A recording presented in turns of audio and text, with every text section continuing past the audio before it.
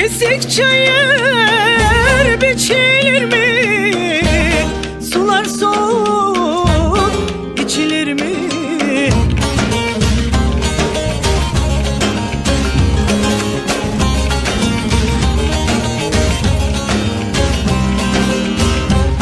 Bana yerden geçti derler